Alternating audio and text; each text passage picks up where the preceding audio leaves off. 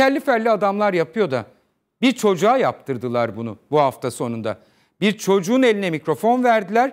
O çocuk ülke ülkenin ana muhalefet liderine hain dedi mikrofonda. Belki o sözcüğün anlamını dahi bilmiyor. Ben bu çocuğa çok üzüldüm doğrusu. Sonrasında babanın ce e, cezaevinde olan babasının serbest bırakılacağını ümit etmişti. O ortaya çıktı. Yani babası cezaevinden salı verilsin, serbest kalsın, eve dönsün diye o kürsüye fırlamış bir çocuk ve eline mikrofon veren büyükler ve o çocuğun mikrofonda söylediği sözlerden çok haz etmiş, hoşlanmış ve gülümseyen bir grup siyasetçi adam. Bu görüntü yansıdı hafta sonunda. Hani evet gelinen nokta korkutucu diyenler olmuş.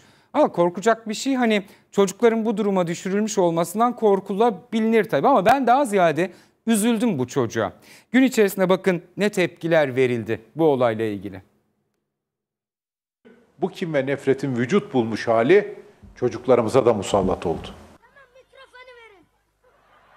Arkadaşlar bu Bay Kemal'in Cumhurbaşkanı amcam Bay Kemal Bay Kemal Cumhurbaşkanı amcamın karşısında kim? O adam hain hain. Burada adam, en iyi adam. Trabzon'da yapımı tamamlanan projelerin toplu açılış töreninde milyonların izlediği bu görüntüler hala gündemin en sıcak başlıkları arasında. Küçük çocuğun söylemi iktidar tarafından hoş karşılansa da Türkiye ayağa kalktı. Muhalefetten de tepkiler gecikmedi. 10 yıldır yattığı hapisten babasını kurtarmak için kendisinden yardım isteyen bir çocuğumuzu kullandı. Koltuğunu korumak için küçücük çocukları istismar edecek kadar gözünün döndüğünü tüm milletimize gösterdi. Böylesi çirkin bir istismarı siyasi tarihimizde görmedik, duymadık. Koltuğunu kaybetme korkusuyla nefretten, kinden, hınçtan medet uman, siyaseten mefluç bir zihniyetin elinden çocuklarımızın tertemiz beyinlerini, yüreklerini mutlaka ama mutlaka kurtarmak zorundayız. Çocukların temiz yüreğini siyasetinizin kirli sözleriyle yaralamayın. Bırakın onlar saf ve masum kalsın. Küçük çocuk dedesi yaşında bir kişiye hakaret ediyor ve yanı başındaki büyükleri gülerek izliyor. Bu mu bizim ahlakımız? Çocukları siyasete alet etmeyin. Onların saf ve temiz yüreğini kirletmeyin. Cumhurbaşkanı bir çocuğu bir mitingde çıkarıp muhalefet liderlerine hain dedirtebiliyor.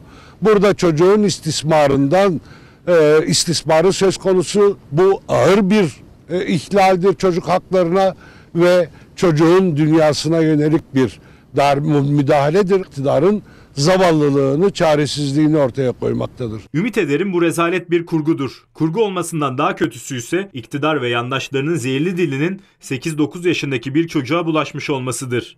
Her iki durumda da eserinizle övünebilirsiniz. Kin ve nefret şeytanidir. Sevgi ve hoşgörü rahmanidir. Bu nedenle tertemiz çocuk kalplerine kim ve nefret tohumlarının ekilmesini asla ama asla kabul edemeyiz. Siyasette etik ve ahlak ne yazık ki iyice terk edildi. Devleti yönetenler masum bir çocuğa söyletilmiş hain ifadesine gülüyor. Trabzon'un iyi kalpli tüm insanları bu kötü duygulardan uzak duracaktır. Bir Trabzonlu olarak memleketimde bu şovun yapılmasını kınıyorum. Eleştiri okları iktidara çevrilirken CHP parti sözcüsü Faik Öztrak aileleri uyardı. Ailelerimizden bir istirhamımız var ebeveyn kontrolünü elden bırakmayın. O kibirli ses televizyondan duyulduğunda, o kibirli yüz ekranda görüldüğünde kanalı değiştirin. Çocuklarımızı zehirlemesine izin vermeyin. Öztrak siyasette gelinen tablonun sandıkta son bulacağını belirtti. Seçim talebini yineledi. Milletimizle birlikte bu nefret dilini tabii ki sandıkta koparacağız. Biz de çocuk olduk, biz de 10 yaşındaydık bu ülkede okuldaki derslerle, sokaktaki oyunla, e, başka şeylerle ilgiliydik. Bizi izleyen çok sayıda çocuk izleyici olduğunu da biliyorum. Ekranda eleştirdiğimiz şeyler, eleştirdiğimiz kişiler düşman olduğu için değil. Bunu biliyorsunuz değil mi çocuklar? Daha iyi olsun diye. Herkes görevini daha iyi yapabilsin. Büyükler çocuklara daha güzel bir gelecek hazırlayabilsinler diye böyle. Ah ah e, CHP lideri Kılıçdaroğlu o çocuğu göstermeyin yüzünü de paylaşmayın diye uyarmak durumunda kaldı dün. Sosyal medyada bir anda yayılmaya başlayınca bu video. Çocuğun kimliği artık biliniyor. Dedesi de tanıdığı çıktı. İçişleri Bakanı Süleyman Soylu'nun. Ee, hani zaten Trabzonlu İçişleri Bakanı da tanınan bir aile. Sanırım baba cezaevinde. Çocuk İçişleri Bakanı'nın kucağında daha evvel. İçişleri Bakanı da ilk tweet atanlardan biri oldu.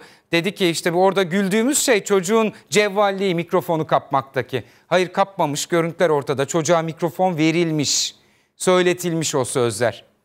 Acaba şimdi bu sahneyle ne amaçlanıyor? Cumhurbaşkanı zor durumda bırakmak mı istiyorsunuz Sayın İçişleri Bakanı? Ya da şöyle söyleyeyim. E, gündem değişir, biraz böyle konuşulur. Kutuplaşma artarsa iktidar partisine verilen destek, kararsızlar yeniden iktidara destek yönünde kararını değiştirir. Bu mu hesaplanıyor? Nedir hesaplanan acaba? Ya da gülünsün, eğlensin diye mi yapılıyor mitinge gelenler? Zannetmiyorum. Gülünüp eğlenecek bir şey de olduğunu zannetmiyorum ortada. Vatandaşın derdi ekmek. Valla son zamanlarda Trabzon deyince o güzelim şehrimizde Vakfı Kebir ekmeği mesela aklıma geliyor benim. Ekmeğin kokusu, yaylaları, o güzel yaylalardaki o tereyağı, kuymak, vatandaşın erişemediği şeyler erişmekte giderek sorun yaşadıkları temel gıda maddeleri. Vatandaşın gündemi burada, burada. Ekmeğe zam gelecek mi yeniden? Fırıncılar yapmak zorunda kalabiliriz. Şimdilik yapmadık diyorlar. Daha evvel İstanbul'da ekmeğin 4 liraya çıktığı ile ilgili haberler gelmişti. Şu an için ekmeğin 4 ya da 5 lira olması söz konusu değil ama girdi maliyetleri diyor fırıncılar. Ekmek 5 liraya çıkar mı? Şimdi vatandaşın en büyük kaygısı, korkusu bu. Un fiyatları artıyor. Bununla birlikte fırıncıların maliyetleri ikiye katlanıyor. Her geçen gün ekmek zammı iddiaları ortaya atılıyor. Geçtiğimiz hafta sonu çıkmıştı son haber. İstanbul'da bazı ilçelerdeki fırıncıların 1 Şubat'tan itibaren ekmeği 3,5 ila 4 liradan satmaya başlayacağı söylendi. Ekmek Üreticileri İşverenleri Sendikası Başkanı Cihan Kolivar da ekmeğin bir ay sonra 5-6 liradan satılabileceğini belirtti. O zam haberlerine yalanlama geldi. Bazı yayın organlarında ekmeğin e, 4 lira 5 lira olacağı haberleri gerçeği yansıtmamaktadır. Türkiye Fırıncılar Federasyonu Başkanı Halil İbrahim Balcı fedakarlık vurgusu yaptı. Şu anda ülkemizde ekmeğin kilogram fiyatı azami 14 lira olarak uygulanmaktadır. Yani 210 gram ekmek 3 liradan satılmaktadır. Türkiye genelinde ekmeğin kilogram fiyatının 14 lira 15 lira bandında olması için fırıncı esnafımız gereken fedakarlığı yapmaktadır. Ruhsatsız fırınlara da değinen Kolivar, kapatılması durumunda ekmeğin 1,5 lira daha ucuza satılabileceğini söylemişti. Balcı da ruhsatsız üretim yapan firmalara tepki gösterdi. Merdiven altında üretim yapan işletmelerin bir gün daha üretim yapmaması gerekiyor. Bunların ne şekilde üretim yaptığı, ruhsatsız olarak ekmek ürettiklerinde e, normalde fırıncı esnafımızın üretimi düştüğü için maliyeti arttırmakta ve sağlık açısından tehlike arz etmektedirler. E, bunu denetlemekte olan e, görevliler, belediyelerin bu tür işletmelere bir saat dahi üretim yapmasına müsaade etmemesi gerekmektedir.